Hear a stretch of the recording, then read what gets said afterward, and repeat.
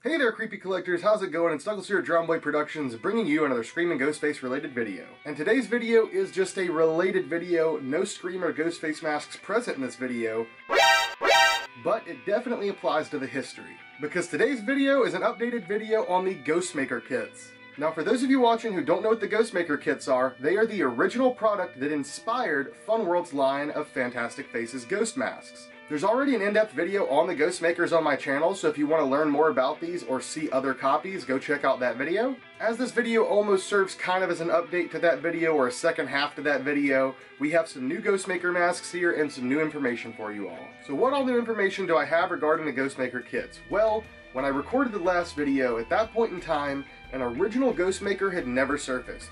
We had seen just a couple of pictures or videos of them out there, kind of proving that they did exist, but we had never seen one modern day in any collector's hand. Well, not too long after that video, an original Ghostmaker kit was finally found, and it was found by none other than the creator, Loren Gitthens. Loren went searching just to see if he happened to have one around, and he did find one.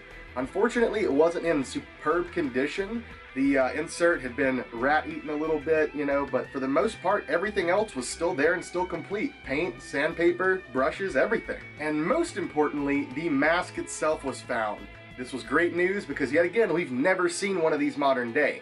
Now the unfortunate news here is that it wasn't a whaler, because I mean, everybody wanted to see a whaler. As Scream fans, Ghostface fans, everybody wanted to see one of those pop up. And even though the mask found wasn't a whaler like everybody had hoped, it's still a really cool mask, and also gives us a little bit more insight on these masks, or at least, I guess, the size of them.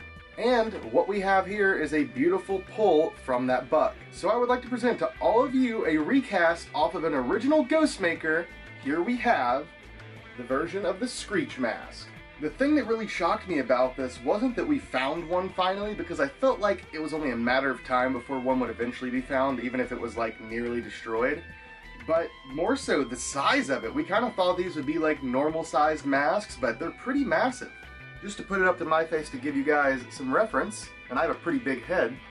And uh, also, of course, if you want to see a nice little close-up of the mask there, I'm sure many of you who are Fun World fans, or at least know the masks, can recognize the two masks that were pretty much made out of this because it was two different versions of Ghostmaker masks with features swapped to make the versions of Fun World masks. But on the whole size thing, November Novelties actually did already make their version of the same mask. You can kind of get a decent little look at him there. And just to show you a little bit of the size difference, the real ones, the real Ghostmaker masks, were freaking huge. So that's pretty big information. Yet again, one of those had never been seen, had never popped up, been in any collector's hands, anything like that, so that was kind of a huge deal. And right after they found that, November Novelties nearly hit the jackpot. Because they found what we've all dreamed of finding for years and years, which is a box full of ghost makers. I remember being sent this picture and my heart dropping. I was like, holy shit, we finally found them. They finally have surfaced. I just wanted to be able to see you know, versions of this. Like seeing this, even though what I'm holding here is a replica, I know that this was pulled off of a surviving original, and that's really cool to see what they actually did look like. Because even though there are a few pictures of the products as they were being marketed at that Halloween Expo back in 1990, there weren't really a lot of pictures or video of the actual products in use or out and about being used by consumers. And thankfully, that has also changed since that discovery. Unfortunately, they were not able to procure the whole box of Ghostmakers, and the person that has it has not been able to send any more pictures or anything, so we don't have any eye candy for you guys. But since then, more pictures of the original Ghostmakers have been found. There's not a whole lot, just a picture, video here and there that we've been able to find, but that at least does prove that these were sold to the public during that time period. Oh, and also since then, there have been more pictures from that original Halloween Expo in 1990 that show the original Ghostmaker concept pieces, not the hard plastic masks, but the ones that were conceptualized before then that were made out of buckram. Well, they also have a replica of Little Sarah Spook. As many of you out there know, what used to be called the Sarah Spook mask for all those years by Fun World collectors is probably my favorite vintage ghost mask design or Fun World mask design period. I just love it. And in fact, the Sarah Spook mask is what inspired my Drownghoul mask. It's kind of loosely based off of that same vibe. And now, here in my hands, I have a replica of the mask that inspired the original Sarah Spook mask, which is the actual Sarah Spook mask. Just to give you guys a good look at it, here you go. Absolutely adorable ghost. Really reminds me of like a Casper style ghost because it looks so friendly but also kind of spooky. So yeah, there you have it guys. I think that's pretty much everything for today's video. If you guys are interested in picking one of these up yourself, you can contact November Novelties and they sell, it yet again, the whole kits so you can put them together yourself. You can have just the mask already assembled and already painted, or you can just get the blank to keep as a blank. Here's a nice little look at the insert.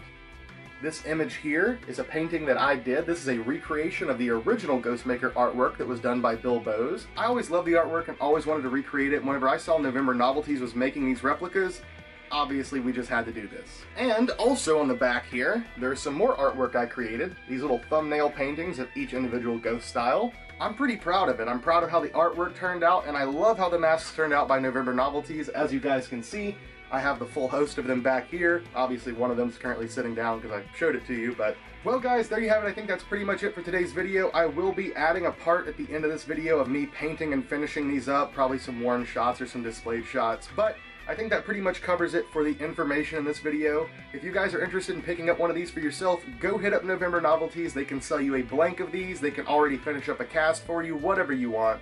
Oh, and one last thing. There also may be a new version of an updated concept Ghostmaker coming out somewhat soon from Loren Gitthens. I've seen him working on it for a little while. The mask looks sweet. He's actually working on some packaging designs with the original creator of the original artwork that I replicated here, Bill Bowes. And yeah, it just looks really, really sweet. So I hope they become available. I hope we can at least get one for the collection. I hope you guys enjoyed today's video. Love you all. Thank you for watching and see you next time.